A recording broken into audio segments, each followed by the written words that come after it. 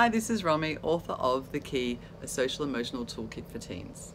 Today's video is The Key Unlocked, where I'll go through all the different topics that are actually in the key so you can get an idea of what to expect when you go through this book. Okay, so it's divided into three main sections. We start with my friendships, me, my family. The reason that we start with my friendships is because we're talking with teenagers and adolescents where at that age friendships is the most important thing that's going on in their lives so it's a great way to, to make sense of what's going on by using friendships. So today I'm just going to quickly go through the index pretty much. So we're going to go through the index and just quickly explain what's in the book. So starting with my friendships, we start with what kind of friend are you? Often we blame other people for what's going on within our friendship circles, whether we're teenagers or adults. So it's actually looking at what's my role in the friendships and what, what am I doing. Uh, we look at topics such as jealousy and envy and try and understand what jealousy and envy actually are. How can we handle it better and how can we actually work toward not feeling jealous or envious? Uh, then we, we move into the section on bullies. Obviously bullying is being taught in schools in a number of different formats.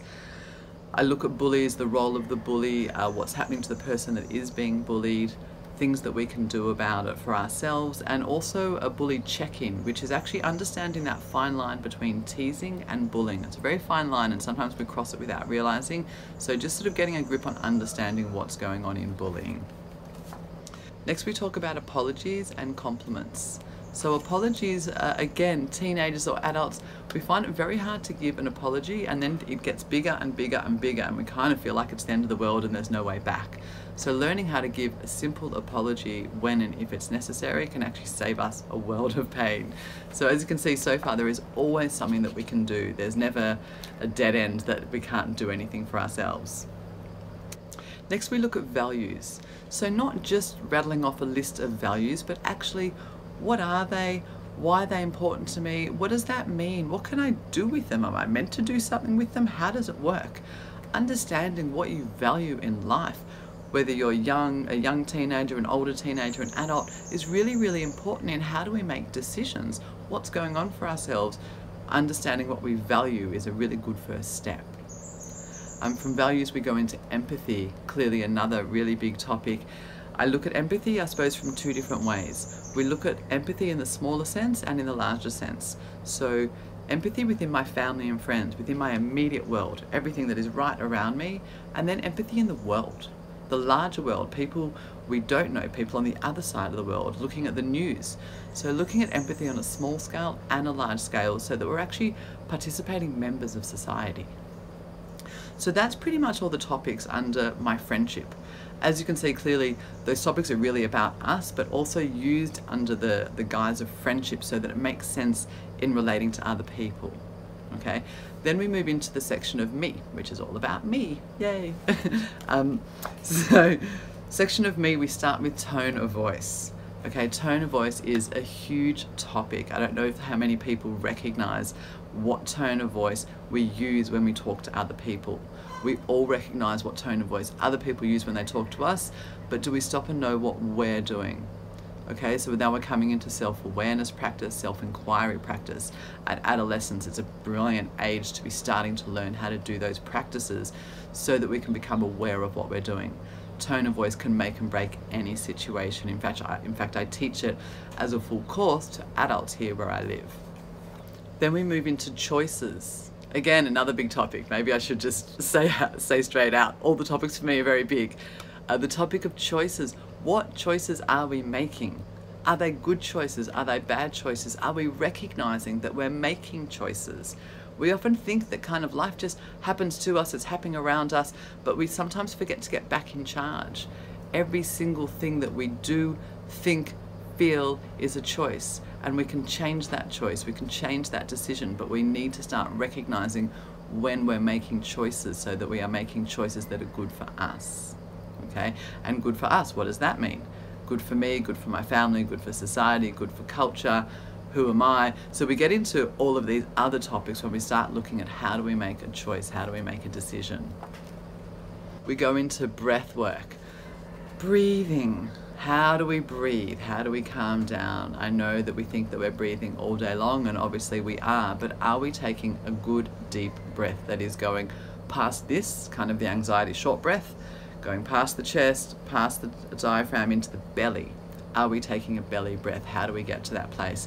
It can be really difficult at first. Um, so we talk about breathing. Why do we need to take a deep breath? It helps with depression, anxiety, sadness, arguments, calming down, preparing for an exam. Breathing helps with a whole lot of things to help get us back into the present moment and to calm down. So there are three short videos, which means you can watch the video and actually learn and and see how it's done and then do it together with me. So they're literally me sitting there going, okay, you and me are going to do this together. So we do do the breathing together and we learn the techniques. So once we've learned our breathing and we've calmed down, it's a great time to talk about anxiety. So again, with anxiety, there is a video attached because it can be a tricky topic. Um, so with the anxiety section, there's some text around it, there's a recap section to make sure that you truly understand what's going on, and there's a video. So the video is me explaining what anxiety is. So what is it? Where in our body do we feel it? What are things that we can do for ourselves? Again, there is always something that we can do and how can we address anxiety and stop it from sort of taking over our life and again get back in control. Next we talk about success and failure. So success and failure really need to be redefined. We are constantly setting ourselves up for failure. How many times have you heard a teenager or have you yourself walked into a test and gone, oh my God, I'm gonna fail? Okay, so we're walking in setting ourselves up for failure. Okay, if you're gonna walk in there and fail, what does it mean? Is failing 49% and under the 50? Is failing 0%? Is failing 90%? Who are you comparing yourself to? Who decides what failure is? Is it you? Is it your parents? Is it your older brother or sister that always gets this particular mark and you get this particular mark? What are your friends getting? So understanding what you consider success and failure will help you know where you're at. Okay, so we need to redefine what we think these words mean for ourselves because again for everybody it's completely different. And then we move into unconditional love negative thoughts and creating positive affirmations. So we talk about unconditional love as in understanding what that means and to love without condition to be loved without condition and self-love how can we love ourselves without condition? How can we be our best friend? How can we trust ourselves completely? That is an amazing place to get to and the younger we learn that the better off we are. Okay it's mixed in with negative thoughts and positive thoughts. It's really important to understand negative thoughts okay? It's under it's important to understand where do they come from? How do they get stuck in this loop in our head? Why do we think that they're true what's going on so again there are a few videos in this section on understanding negative thoughts understanding where they come from, how they get stuck, and how we can get rid of them. There's a step by step process on how to go from negative thoughts to positive thoughts. So, again, a really, really important section and really important to learn when we're young. And the last part of this section, we talk about sadness, happiness, and depression. Really important to understand the sliding scale that these all live on and understand what that means for us okay? We don't want to live in happiness all the time and just be kind of exhilarated all the time. It's an unrealistic thing. We want to live in balance, in balance of all of our emotions, including sadness, and understanding where sadness becomes depression, where's that sliding scale going, and what can we do about it, and at what point do we need help? Which reminds me, there's a video on why trying to find a counselor is like shopping for shoes. Okay, so it's all about how do we seek help? If we're at a point where we do need help, how do we actually get the right kind of help that we need? It's very important that we're getting the right kind of help, not just any kind of help. so that's the section on me. Then we go into the last section, which is the shortest section, and it's on my family. The first thing we do with my family is look at extending our family beyond our blood relatives it is very important that when we are young, we have a very large support network. So we want to look at who else can we consider family. So if we need help or need someone to talk to, there are a number of people in our world that we consider family that we trust and that we can talk to. And we look at our home, what's going on in the home, and we look at divorce. In today's society, unfortunately, we do need to look at divorce and it actually does need to be taught because we need to know what's going on in the household and as a teenager, as an adolescent, it is important that we understand what's going on with our parents. So whether that's happening for you or not, it'll be happening for someone that you know. We all need to know what is going on and we need to be really, really certain and reassured that it is never ever our fault no matter what the situation is. So that's the, the final topic is my family. So we have my friendship, me and my family. So all of the topics come under all of those three main headings. For me, I feel like if I could write the book as kind of a spiral, that's what I would have done. If you look at the things like, say, values, what do we value? From there, what choices do we make? Are they good or bad? How do we feel about the choices that we've made? What choices do we make because we're feeling that way? How does that affect our values? How does that then affect the choices that we make, the way we feel, how we use our tone of voice, what choices we make. Can you see how everything kind of goes in spirals? And I think if we made this sort of book like that, that's exactly what I would love to have done. But unfortunately, it is an up and down index.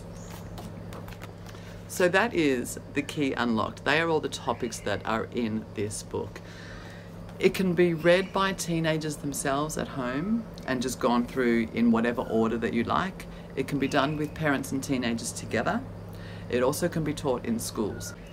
So even though I'm going through the topics in order as I see them in the book, it doesn't actually have to be taught that way. So if you are a teacher and you're in the classroom, you can teach it as a course beginning to end, and that's perfectly fine. I often do that in Australia.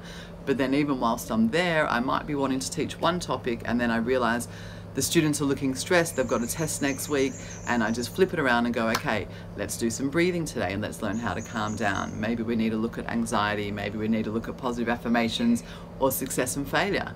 So whatever topic is going on, whatever subject is happening at that time, then it's a great idea to actually just go straight to that subject and address that so that it's relevant to, to your student's life.